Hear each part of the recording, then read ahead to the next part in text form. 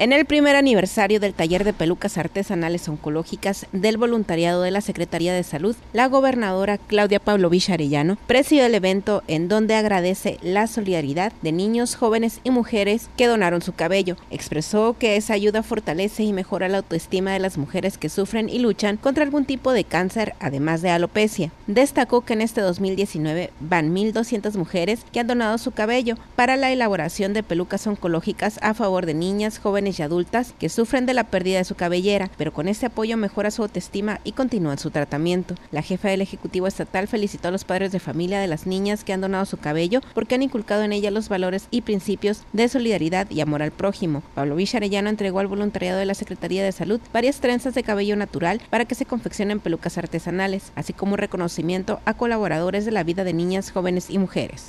Con información de Alan Rubio, Guadalupe Eche, Mega Noticias.